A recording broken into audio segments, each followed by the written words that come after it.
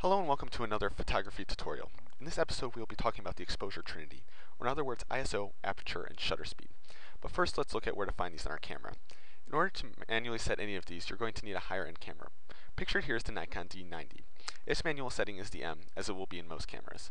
Selecting this option will allow you to have control over all three options mentioned in this tutorial. For the specifics of this, you will have to consult your owner's manual. Now to obtain a proper exposure, you will have to understand how all these interact. To begin with, we'll focus on shutter speed. By increasing the shutter speed, which is decreasing the number, the camera shutter will be open for a less amount of time and will let less light in. So the relationship between shutter speed and exposure is, as shutter speed increases, the photo becomes darker and vice versa. Now why do we care about shutter speed? Well, in addition to exposure level, it determines to what degree a moving object will appear blurry or crisp. Aperture also plays a role in the clarity of our photo, but in a different way. The aperture is a series of typically rounded blades that open or close to let in different amounts of light.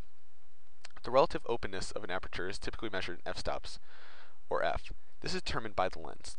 Most KISS lenses typically have a minimum f-stop of 4 to 5.6 and a maximum around 20 to 22. The thing to remember about aperture that is somewhat reversed, that is, the opening of the aperture more and letting more light in decreases the number, i.e. an f2 will let in more light than an f8. The other thing the aperture determines is your depth of field, or how in focus things are at varying distance from the lens. A smaller f-stop will leave less in focus than a larger one. The final thing we're going to talk about is ISO. ISO affects your photo's graininess or noise level.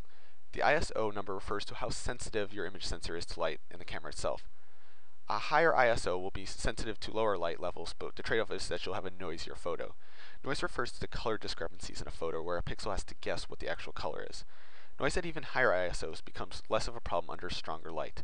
A higher ISO will move your exposure up or lighter. Now that we have at least some idea of how these all relate to exposure, let's take a brief look at how they interact with each other. Okay, for example, we're going to say that we increased our shutter speed because we really needed to freeze some action. As a result, our exposure is down here. What can we do to correct it? There are two options based on the information in this tutorial. We can open up the aperture more, or increase the ISO.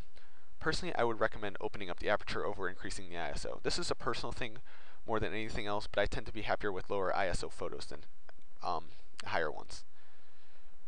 Okay, so why is all this important? First of all, shooting manual gives you control. It takes the luck out of it. There's no more hoping to get a good shot. It's a matter of now I know what I want here. I can do this, this, and this to achieve it.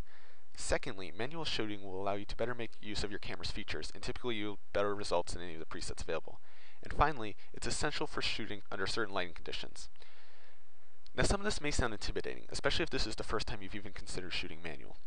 This doesn't mean you have to jump in head first. Ease into it, start shooting P or program, then transition to aperture shutter priority mode, and finally move into manual. Also, you don't have to shoot manual all the time. There are instances where shooting in other settings will have its advantages. So I encourage you to shoot manual, but at the same time, use your discretion and not get hung up on one way to do something. Thank you for watching.